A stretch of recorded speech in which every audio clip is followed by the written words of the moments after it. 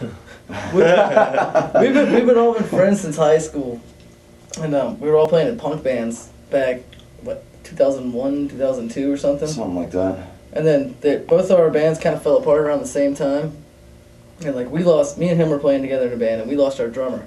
So he was living right down the street, and like they had just broke up that night, and so we walked down and gonna be in a band, and he's like, all right.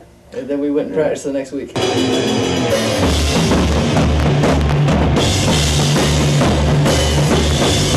You guys have been a band for four years. Four years. Quite going on four years. Cool. We started touring like six months after we started. And Right. Haven't stopped. Yeah, we recorded a demo like three months after we were together. Not a good representation, Yeah, but, but- it got us yeah, out there. it You know, was it it was something to was, hand to people, you know. We But actually got out there and got reviewed by several, like a couple of Red People magazines, and it's Yeah. been going ever since then.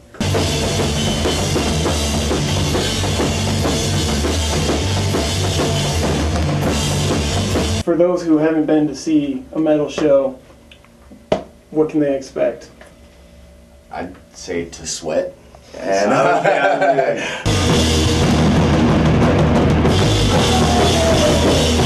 Hey, it's it's kind of hot, you know, and uh, Bring earplugs. yeah, earplugs is it's loud for people who are deaf like me. Um, you don't need them.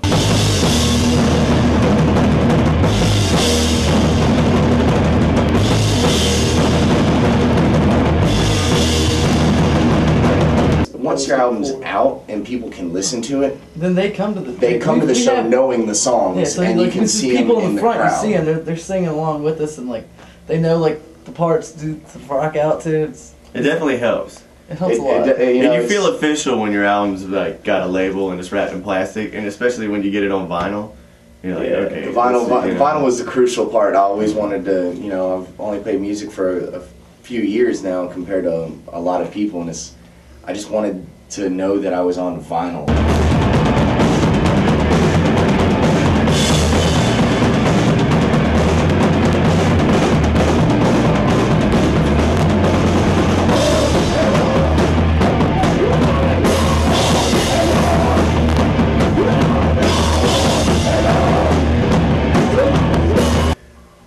This next album we're actually working on now is probably the only one that we've ever sat down and been like, okay, we're about to write this album. It's always been writing songs, sorting You're through coming up with songs. you're coming up with a new one. We're about Yeah, halfway we're through. halfway Okay. through a we, new we one, got a- yeah. we started writing from start to finish to try and do an album that you say, what's the first note, and then Yeah. what's the last note on that side.